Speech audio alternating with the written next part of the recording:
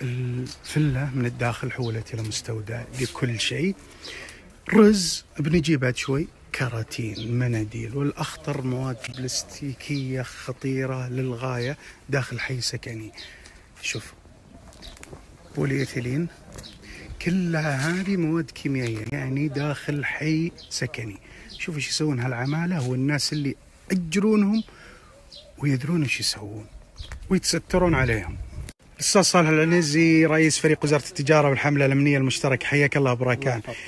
أه أول مرة نطلع معكم على الرز وهو قليل عشان ما الناس يخافون صحيح. لكن بدوا يلعبون حتى في الرز نعم يعني كان أول من الأشياء اللي ما تحصلها على على يعني شيء قليل الرز لكن الآن بعد الضبطيه هذه بدينا صراحة نكثف الجهود في الميدان فيما يخص الارز. طيب آه، هل لمست إنه فيه رز كثير في تلاعب لا في السوق؟ لا تعتبر ظاهرة هي، لا ممكن هذه جزئية من بعض الظواهر لكن مستقبلا لا تستبعد من العمالة المخالفة أي شيء.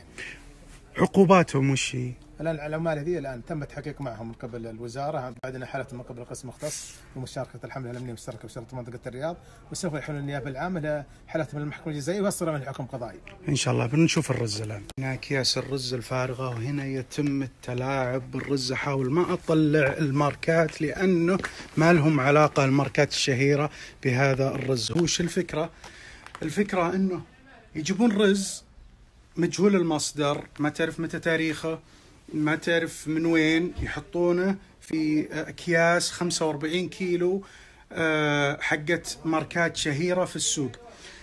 بقالات غالبا هي اللي يباع فيها. يعني ما يباع في الأسواق الشهيرة ولا في أماكن محترمة. لذلك دائما نقول اشتر من مكان موثوق. لا تشتري من أماكن هالصغيرة اللي تجيها هالفنات البيض اللي هم جالسين يحاربونها أساسا كلهم عمالة بين بعض ويمررون هالمنتجات يعني نوريكم الان شلون الغش.